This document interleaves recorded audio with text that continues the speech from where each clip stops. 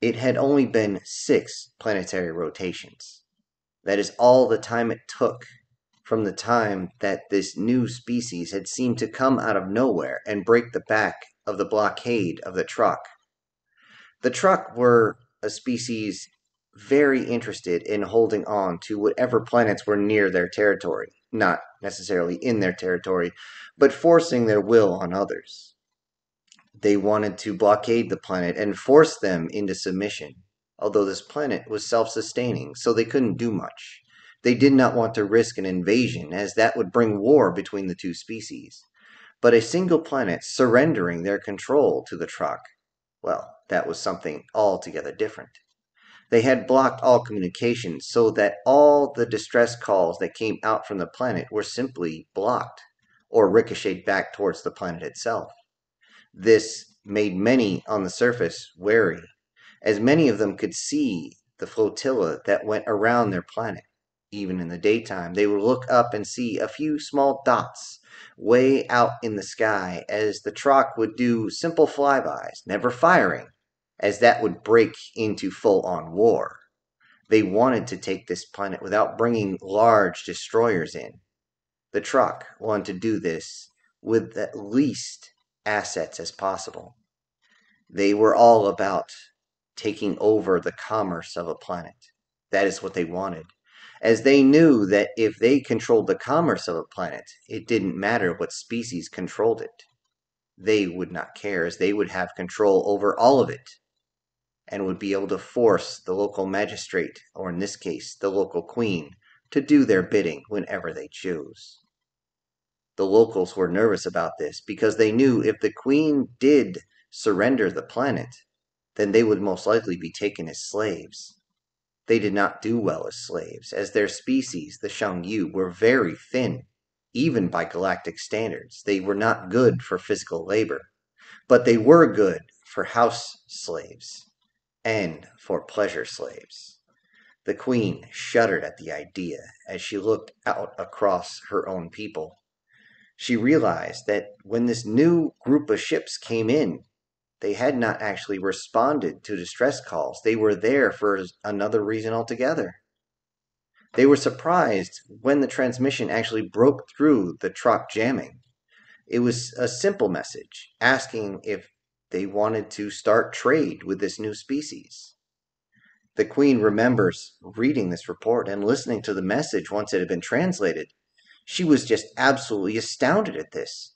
This new species that had barely begun to reach out into the stars, barely 12 of her solar rotations prior, was now reaching out for commerce, but they were very far away from this species' home planet. This wasn't even in the normal trade routes. How, why were they here? But she would not, in any way, shape, or form, risk losing the chance to bring in another species, as this would force the Truk to reconsider their blockade all entirely, and they would be able to open up gaps which would allow the Queen and her advisors to reach out to every other planet, to all the other queens and kings, to see if they would respond to help force the Truk to back away. Though the Xiongyu were skinny, they were definitely ones who had engineering prowess enough to make their ships very formidable. However, it was not as formidable as what she had seen. They watched in absolute amazement, catching all the transmissions that came out. The Truk demanded that these ships back away and leave. This was their territory. The response they got was that of confusion. Those on board claimed that they knew where the territorial boundaries were.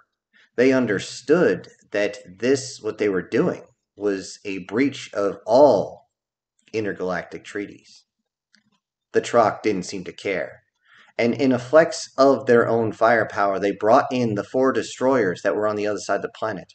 It only took about three hours for them to go from one side to the other and then formed a battle line. They were ready to fight off this half a dozen ships that had come out. These large, bulbous flying bricks that didn't seem to be much simply sat there as they continued to go back and forth to the Truk eventually, demanding that this new species surrender their ships as their ships had finally been scanned and realized they had many, many articles of goods. Their response was simple. They were asked, Are you trying to pirate our goods? This word did not translate. What the hell was pirate? Eventually, the translator did come out with a good enough translation that the Trock simply laughed and said, Yes, we have jammed you. You cannot jump. You will surrender, or we will simply destroy your ships and take the cargo. This was, of course, an empty threat because if you fire on any ship in the ether and blow it up, you destroy exactly what you're trying to get. Those on the other side seemed to wait a long time before responding. When they finally did, the response was simple and straightforward. If you want it, come and take it. I dare you. I double dare you, motherfucker, came from a second voice in the transmission right before it cut out. This surprised everyone, as they didn't understand what mating someone's own parental figure had to do with anything. But the Truk didn't care. They began to move their destroyers into weapons range, effective weapons range, so they could get a good shot. And if they were fortunate, they'd be able to take out the bridge. But then they started scanning the nose of the ship and they realized that the bridge was not where they thought it would be. They scanned it again and again and again and eventually found that there was a lot of electromagnetic interference. They couldn't scan any deeper than the inner hull. How was this possible? They didn't know. The Shang-Yu on the surface tried to scan as well, but couldn't get past the Truk defense line. The jamming was still in place, so all they could do was rely on the visuals. Eventually, this new group of six ships seemed to move themselves into a formation, also creating a battle line. The Truk destroyers didn't even wait at that point until they were in optimal firing range before they readied their weapons, and with that, they saw something they didn't expect. These seemingly flying bricks, these bulbous piles of, well, excrement that they looked like, seemed to raise turrets from all sides and also seemed to be opening up part of its hull. From the hull, other ships actually popped out from the side and flew out. Everyone was confused as fighter combat went away a long time ago as soon as point defense systems became a thing. They were confused at this. But then they looked at the ships that came out. These were not any sort of ships. These were at least the size of small frigates or large corvettes. They couldn't figure out what the hell was going on. Each of these ships joined the battle line on the sides. It was some sort of formation. But then the Truk, one of the destroyers, fired. Fired straight towards one of these ships and watched in horror as their energy weapons deflected harmlessly off the bulbous nose. And with that, all the ships in the unknown formation turned their cannons and fired. And that destroyer was no more, simply pierced from one side to the other.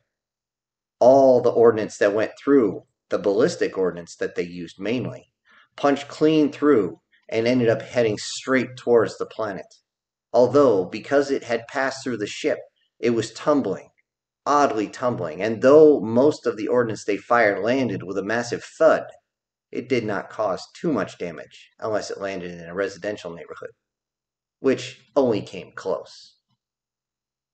With that, the Truk armed all three of their remaining destroyers and brought the rest of their fleet in to the point that they had opened up a line so that the Shang Yu could reach out to the stars and call for help. And as soon as they screamed out that they were being blockaded, that they were being attempted to be starved out by the Truks, it seemed to trigger something because all the unknown fleet ships began to fire with reckless abandonment. And the Shang Yu on the surface received another message. We got you now. Don't worry, we'll protect you. Everyone on the surface was confused. Why would an unknown species do that? And yet they looked through all the optical sensors, and all they saw was these six ships that had now tripled in number, firing main guns, all staying in line as they approached, then seemingly altering themselves so they encapsulated the final rest of the Trox ships. The few that remained at that point tried desperately to reach into FTL, but it seemed as though their FTL engines just would not activate. Some of them skipped across space, but you can't do that without the right type of inertial dampening systems, without the correct bubble to go around you. There's nothing left inside except slimy goo that's all around the bulkheads. With that, the rest of the Trox ships went adrift. If they had not been perforated, they had accidentally killed the crew inside. With this, the ships that were out there, the unknown fleet, began to send out more ships, many of them, seemingly insect like things. It was clear that these were not actually manned, as there was no place for a cockpit, and yet they seemed to start gathering up all the ships that were out there, all the Trox ships, and bring them to one spot. It seemed as though they were merging them together, using strange pieces of metal and seemingly heat to merge them, holding them together as one. Those that had tried to jump were simply collected in one area and then linked to one of the Bulvis ships. The Shang Yu didn't understand, but began to call up, Who are you? They responded, We're from humanity. Have you not heard of humans? With this, even the queen, as pale as she is, lost the little bit of blood that was still in her face. She was amazed at this, as she had barely heard of them, and then simply asked, Can, can we start trade negotiations now? It was a bit undignified the way she said it, yet she was in shock, but she would not let this opportunity go to waste the humans surprisingly called back and asked if any other humans had been there before, as they seemed confused at the whole idea that this planet had never even seen a human before. The Queen responded back with the fact that the way their culture is, and the fact that they were blockaded, they knew nothing about humans or human culture or how they had expanded. She had learned from one of the human captains that called in that humanity had been trading with their people for several months now. They were confused. The advisors warned that a species so dangerous might not be something they want to piss off, so it might be a good idea to send up an envoy. The queen herself said that she would go up and talk to them to work out trade negotiations between her planet and their species the humans were a little confused. We already have something, we're transmitting it now. The Queen saw this and realized that her planet was not listed within the planets that had signed, and she realized that she had to work out her own negotiations for the best interest of her planet, which was understandable. But this caused the humans to actually pause. They realized that if this was diplomatic negotiations, they did not have standings to do so. The Queen said that she would come up and talk to whatever diplomatic envoy would be showing up. The humans simply responded, We already called them. Four days. And that was two days after the battle. At this point, she was getting inside her transport and getting ready to go up to meet the humans. She knew that their delegation would be arriving within the hour it would take for her to reach beyond the gravity well of her planet. She was interested, very interested, but she was also nervous. She kept primming and preening herself, pushing down the pressed skin. She looked to make sure that her dress was absolutely perfect, as this would be the very first time to meet them face to face, and she wanted to make the best of impressions. One of her advisers joined her on the flight. He had been tasked with finding out everything that had happened with the humans and her species, and the advisor was very quick to say, Mistress, you must take special care when dealing with these humans. Things have been strange. He said this as the doors closed and they sat down, getting ready to go into space to meet the envoys. Explain, Strange. He went on to explain how the humans, though very large and very muscular, tend to be very kind, although it is dangerous to make them angry. If they are angry, or in some cases intoxicated, the queen had to understand what this was, and he explained that when they consume ethyl alcohol, which made her eyes go very wide, that that's poison, she said. Yes, the advisor said, but for some reason they can ingest large quantities of it and they enjoy it. However, it changes their temperament. She sat back trying to ponder this, and the advisor continued. He explained that many of them had gotten interested in the species. Interested how? she would ask. He went to explain that humans find their form very appealing, extremely appealing. The queen seemed to grin at this, almost smug like, believing that she could simply use her own femininity to get more of what she wanted, a better deal for her planet. She again began to press out her dress to make sure that it was absolutely perfect, seamless, without any stains of any kind. She went to make sure that the decorations on her tendrils were absolutely perfect and shining the way they should be. Some of them even had some sort of LED attached to the end to make them glow. She realized that she had to make the absolute best impression to show off to the males, as she knew that a female would always have to show her best to a male to make sure he was completely interested. And once she got a hold of them, she believed that once she mates one of them, she would have complete control, as that was the way it was done. She would have everything. The advisor continued to go on how humans were able to bring all sorts of cargo extremely fast. Their manufacturing and engineering capabilities were on a completely another level. She believed this to be true as she had seen the battle firsthand. She talked about how six of their destroyers had come in and destroyed an entire Trok battle group without taking a single loss how they even brought their own support craft and even picked up the mess afterwards. It was incredibly efficient, and she appreciated that very much. She always knew efficiency was important, especially in a monarchy like hers. She listened more to what the advisor had to say as he fumbled through different words that she didn't quite understand. Different things until he said things like capsaicin where she immediately started to flinch. Even the idea of capsaicin was enough to make her worried. She wanted to know why he had mentioned something so dangerous, and he mentioned how humans consume that as well. She wondered if they were partly biomechanical or something to handle something so dangerous. Even a little bit of that is enough to cause extreme chemical burns on her skin.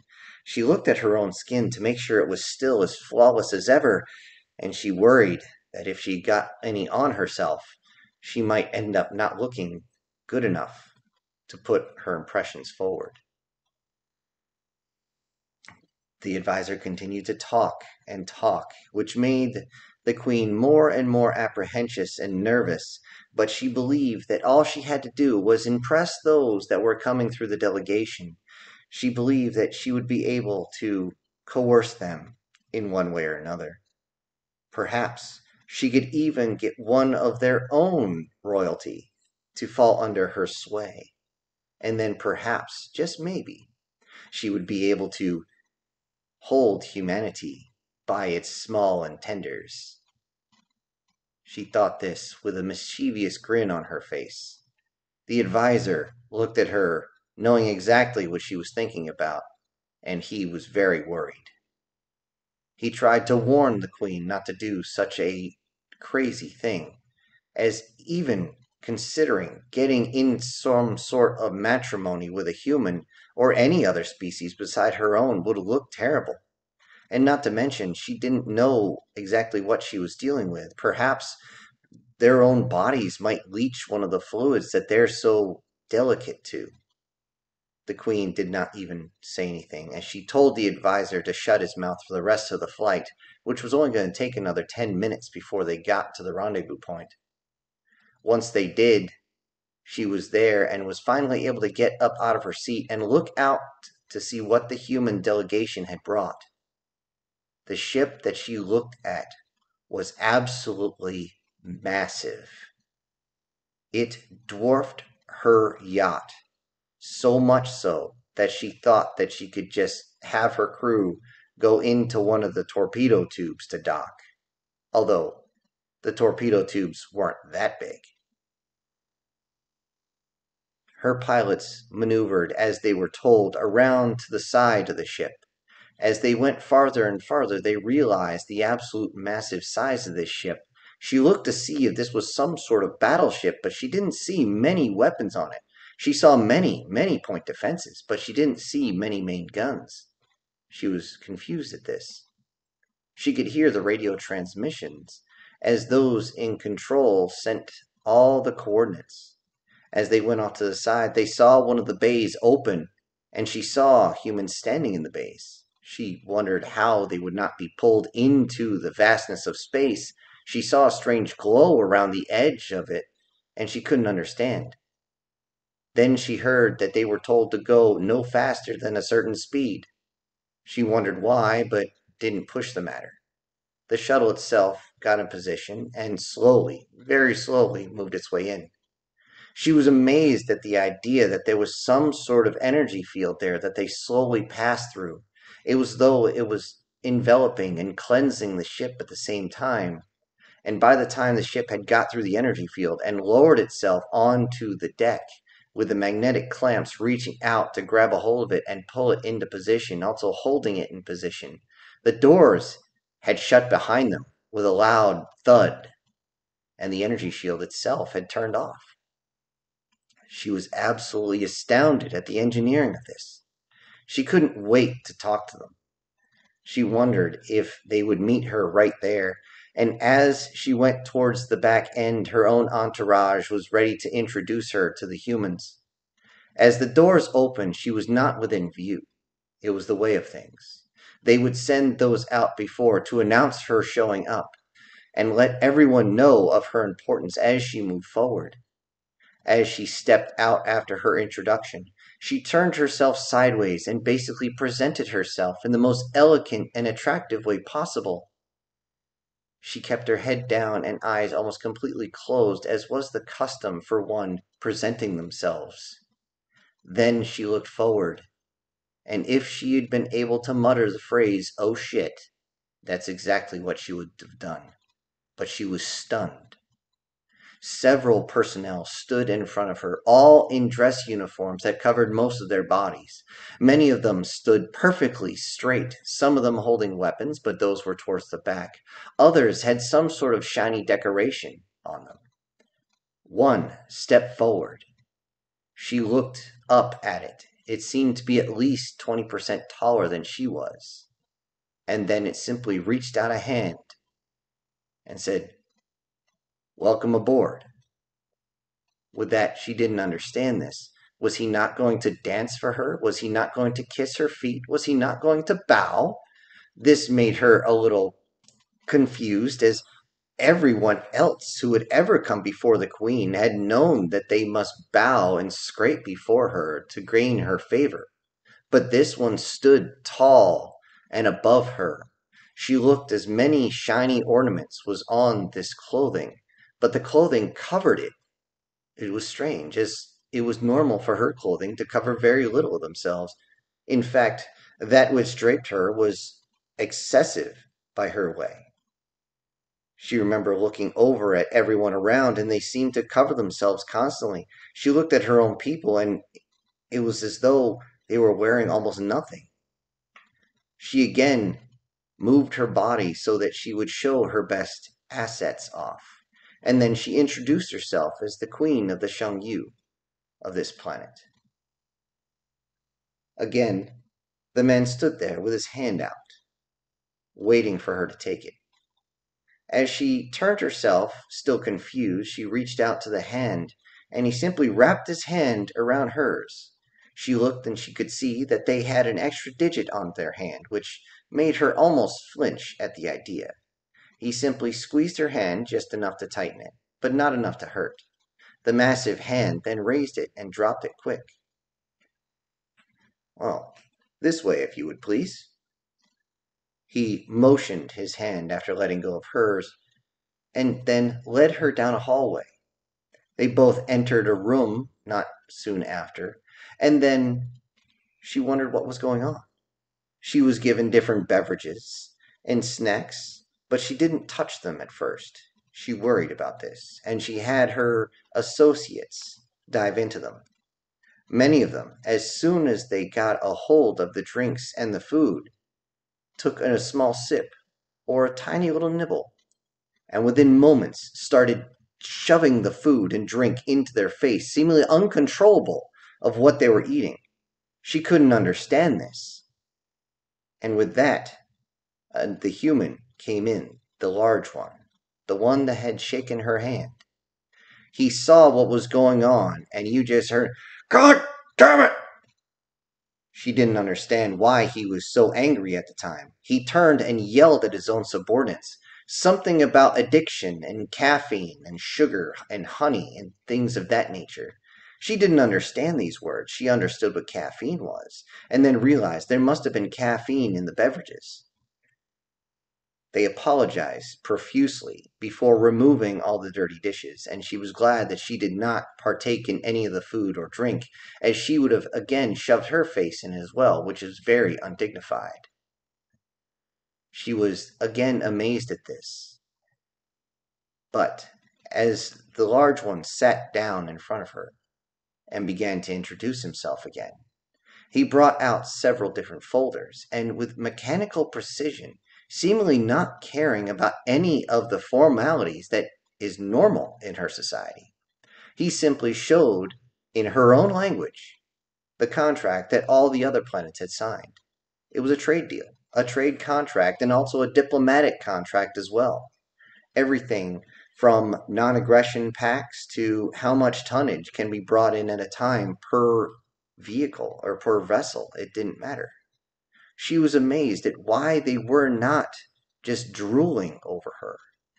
Why did they not sit there and kiss her feet? She tried to do an old trick from when she was young, and she reached under with her foot and rubbed up against the leg of the one in front of her. This seemed to get his attention, but only slightly. As she continued to do so, she very slightly went up higher and higher to the knee and seemed to rub it in a circle. He chuckled at this. She thought she was doing a good job. And then the man simply said, Ma'am, unlike you, that's not an erogenous zone, and I know what you're doing. What? She asked. The translator, of course, was only about a half a second behind. The human simply stated, yeah, the rest of the females of your planet have tried the same thing. A couple have succeeded, but only to get a couple of the privates and ensigns. If you're trying to get me, I'm sorry, ma'am. He holds up his hand and shows a small golden band that's around one of his digits. Sorry, I'm married. She didn't understand.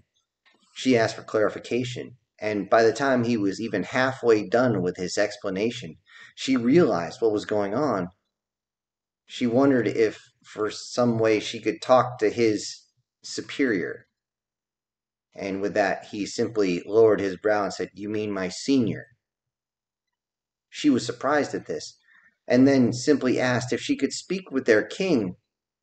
And with that, every human in the room began to bust out in a strange sound, some of them moving in a way that didn't actually make any noise and it took a moment before any of them were actually able to get breath back into their lungs.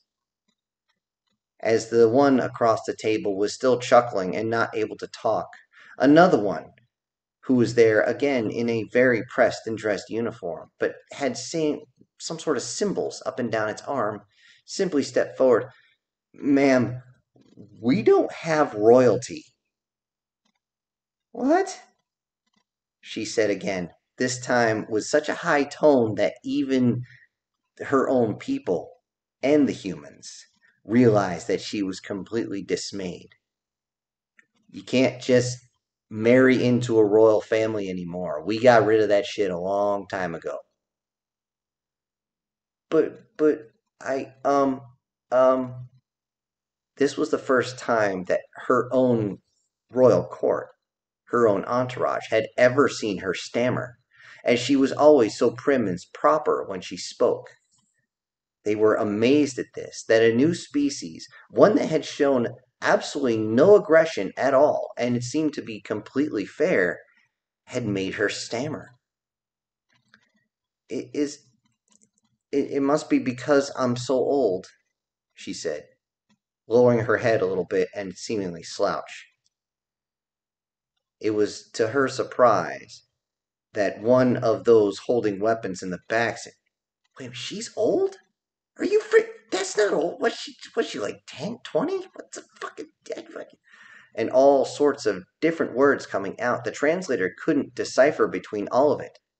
She was looking at them confused and then the one in front of her was able to regain his composure and said, Ma'am, through our eyes, you are in the perfect age to mate with.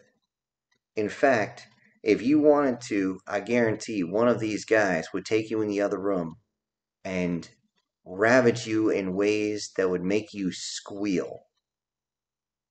That was something you don't say to royalty, as she definitely blushed. For probably the first time in her life, her cheeks actually did turn a reddish blue purple. Many of her own court was again astonished by this, that anyone would even insinuate this. She was surprised, and yet she was interested. So, would that help with negotiations? she said, and the court immediately gasped at the insinuation of this. No, it wouldn't cut you a better deal. It'd put a smile on your face, though. With that, she realized that one of the human females actually went up and tapped this man on the shoulder and gave him a unceremonious glare. It seemed as though they were talking without talking. And then he simply turned and said, But that's not what we're here to talk about. How about we get back to business? As we say in my world, business before pleasure. It was less than six hours before all the negotiations were done.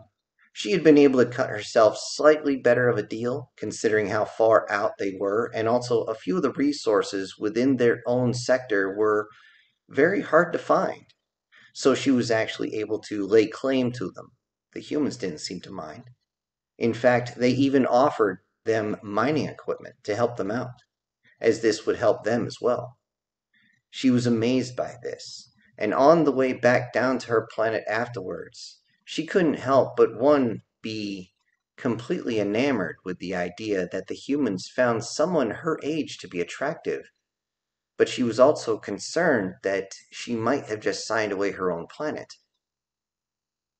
She turned to her adviser, the one who had spoken on the way up, and she said, You know, you were right.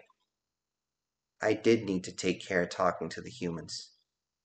Although, as she lifted up the contract and looked at it more, I think this might work out well. In fact, I'm looking forward to seeing some of them in the throne room. And then she realized what she had just said. Everyone realized what was going on as while they were having their meal, and this time the humans were very, very careful on what they prepared to make sure that it matched what they needed for digestive concerns. She was sitting right next to one of their guards. One of these guards simply excused himself for a moment, and then another one, who was constantly looking for a place to sit down to enjoy his meal, actually asked if he could join them. This one was not wearing a full uniform, but instead was only wearing a single shirt and what they call shorts. It had the name of their own unit across the front. She couldn't quite read it, but it was explained to her that he had just got done doing physical training, or PT as they call it. She was amazed at this. She looked over at this young man who had just sat down and simply nodded, saying, Ma'am, as a sign of respect. She didn't understand this, but she was told that this was normal in human society. As he sat there, she looked close at his arms, the very, very defined arms. She looked down at the very defined legs and realized that they weren't lying at all. These humans probably could do many, many things that her own males probably couldn't do. Not to mention, her own males being subservient to females were not exactly ringing her doorbell just by the looks of them. In fact, she was very impressed at the physiology. But she wasn't the only one. She caught many of her own male subordinates looking up and down the human females at how their proportions were much more defined.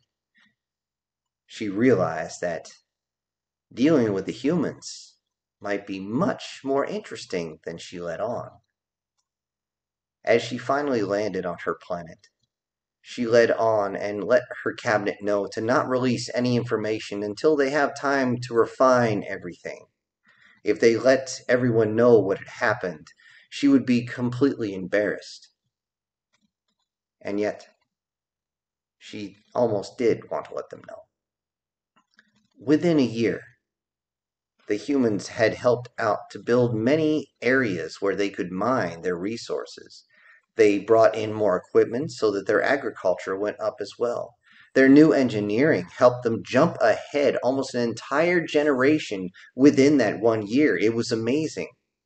And now, now she looked across and she saw one of the humans as he worked. As the human worked, he had to take off his outer covering. It was very warm that day, reaching around 29, 30 degrees Celsius, which was comfortable for her, but for humans it was a little warm, and many of them had taken off several layers of their outer clothing just to try and cool themselves off.